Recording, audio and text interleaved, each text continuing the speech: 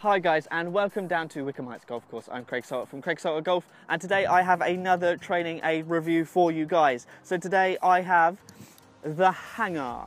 So what the hanger is basically is it attaches to your golf club. I'm going to show you in a second uh, and it's for it's basically the coat hanger drill if you've ever seen this, uh, but it's, a, it's designed to go on your golf club, so it's a little bit easier to use. Uh, nice little club face here as well to give you a bit of help with where the club face is and stuff like that. And it's for lead wrist flexion, basically. So making sure you don't get flippy with your wrists, especially at the top. This uh, this will help you get into those DJ positions where his, his wrists are nice and straight or a little bit bowed, rather than having them cupped like this, which will give you all sorts of problems in your swing.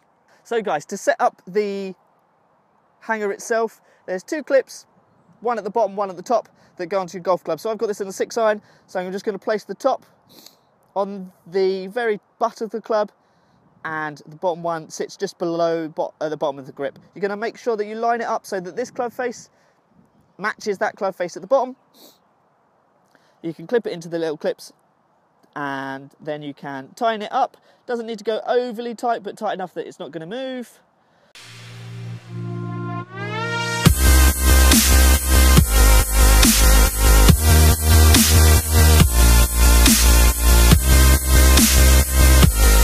So all the hanger is, is a plastic sort of arc here with a club face at the bottom that attaches to your golf club. So the idea is that I grip it as normal, and you can see here, if I just show you here, that this sort of rubber green plastic here can sit against the inside of my forearm. So the idea, when I swing back, I'll show you from this angle actually. There we go. That the hanger itself pushes against that forearm. So if I'm at the top here, let me just get you in position, and I'm cupping my wrist, so if I'm doing that, you can see that the hanger moves away from my forearm and doesn't touch it. It's touching nothing at the moment.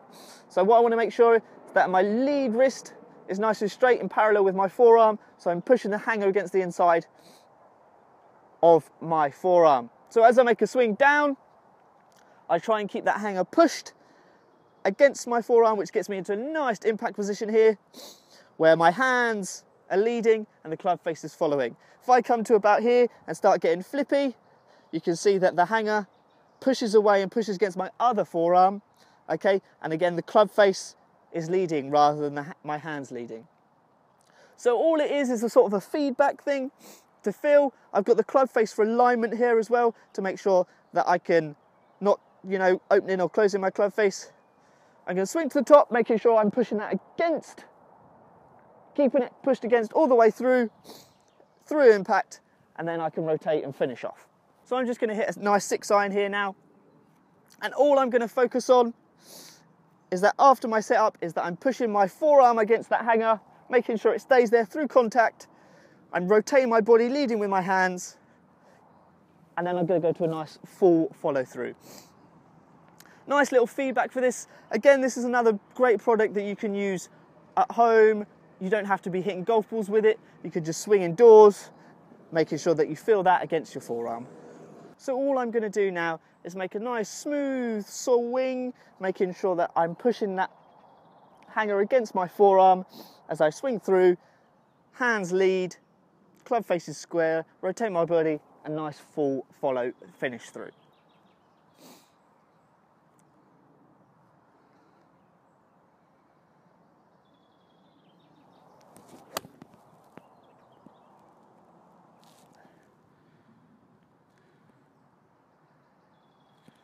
There we go, nice full swing, making sure that my forearm was leading there. So guys, that is the hanger. Couple of points I really love about this. Really good for that lead wrist, making sure that it stays nicely in flexion you're not, and you're not cupping. Also, it can go on any club, so I can use this on my pitching wedge to start with, nice small swings. I can move on to my six iron like I've got it, and I can push it onto my driver if I need to. You can take it anywhere again. You can use it on the course, you can use it on the range, you can use it at home. You don't need to be hitting golf clubs. You can just get that feeling at home of just keeping that wrist in a really nice position so you're leading with your hands.